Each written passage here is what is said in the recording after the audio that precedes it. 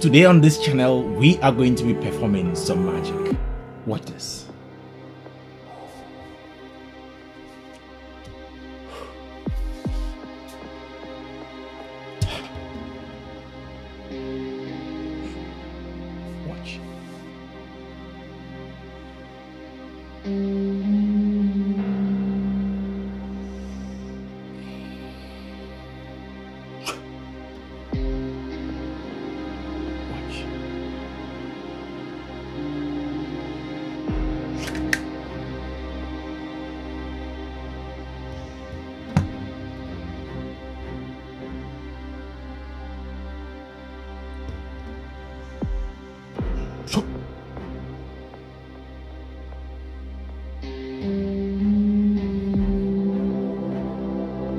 Welcome to the Magicians family.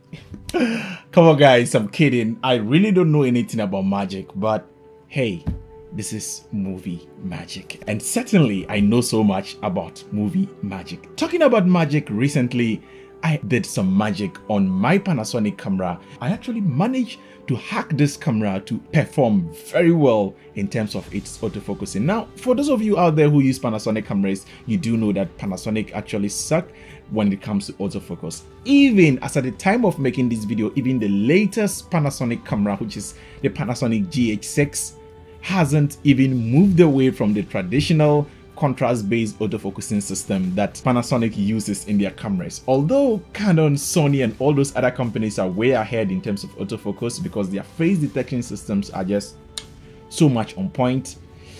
We Panasonic users, unfortunately, um, yes, it has been improved, but we are still not enjoying so much of it like the way the Canon and Sony users are enjoying. But just like the little magic I performed in the beginning of this video, we are going to find a work around this and see how you can manage to at least get some decent autofocus out of your Panasonic camera. The camera I'm going to be using for this demonstration is the Panasonic G7 because that is the camera I do use for all my productions, even including what is currently recording me now is actually a Panasonic G7. And I'm going to be doing some magic as always.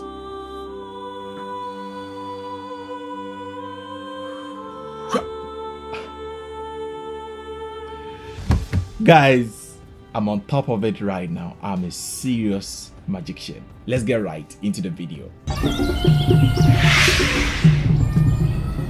So, this workaround that I've kind of developed for this Panasonic system is just by shooting in a higher frame rate. And also make sure that you are dialing your shutter speed way above your traditional shutter angle rule. Now, what do I mean by this? You are traditionally told to crank your shutter speed twice the amount of frame rates at which you are currently recording at. But for this to actually work, you kind of have to break that particular rule. So I know, I know, for those of you who are cinematic gurus out there, you kind of go like, we are going to lose the motion blur, lose all those other stuff. Come on, I get it. There is a price you have to pay for everything. And to get this to work, you need to pay that price of not having that natural motion in your picture. And so what I tend to do is at least don't overdo it, just add at least one step. And the footage you are currently seeing on your screen right now comes from a recent music video that I shot using my Panasonic G7. And all I did was that I was actually filming the whole thing at 60 frames per second and kept the shutter speed above 160 because 160 is traditionally going to be the mark at which you are supposed to shoot if you're shooting at 60 frames per second. But I did break the rule by taking it slightly above the 120 degree shutter rule mark. And boom, I have my Panasonic camera with autofocus working full time. And as you can see from the shots, I actually had this camera on a gimbal throughout the whole time because you and I know that once you have a camera on a gimbal, it's very hard to reach out to the focusing or to keep focusing the camera. So this kind of trick actually saved me a lot when it came to this particular kind of shoot. I think I should show you exactly what I did on the camera menu. But we don't have a G7 camera. But wait I'm a magician. I mean, why don't we just kind of, as usual, just conjure a G7 camera? Are you ready? Let's let's try this. Let me let me summon the gods.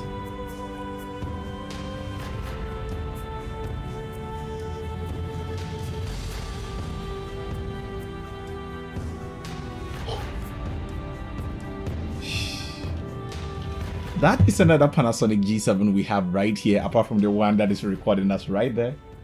I think I like this magic. I mean, or should we convert this channel into a magic channel? So I teach you how to do all the magic. Come on guys, just kidding. So with my G7, what I tend to do is that I just go to the menu. I don't know if you can see this. And I just go forth and this is 60 fps so i do select 60 fps and go back to the camera. And what i quickly do is that i just crank up the shutter speed above the 120 mark. And as you can see this is 250 and let me take it down a little and this is like 160 so 160 is kind of like the sweet mark for me. And of course it also depends on the lighting so with this straight off as the camera is already kind of ready because one the frame rate has already been set to a higher frame rate which is 60 fps and also the shutter speed has actually been set above the traditionally recommended shutter speed point. point. And now the last thing i do is that i just come here uh, this button right here and voila i change it to autofocus. And from this point onwards Your Panasonic G7 will become an auto-focusing beast. Now, from all the excitement and as you can see, I don't know you can see it, the battery is kind of blinking. or do you think we should do some magic and get it full just so that the battery will just charge? Come on.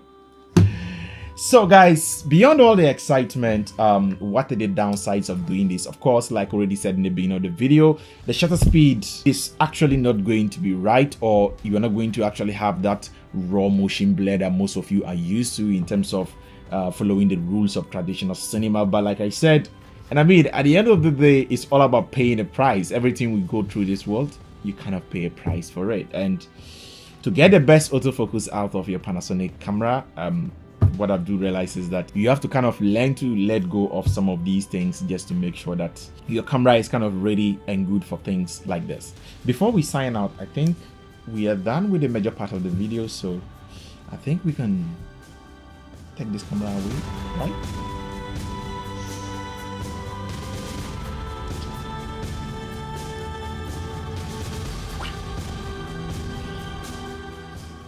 And that is it guys. I do hope you do enjoy this video and if you're new here, oh my god, we do talk about cinematography, photography, editing and all its related branches. If this sounds interesting,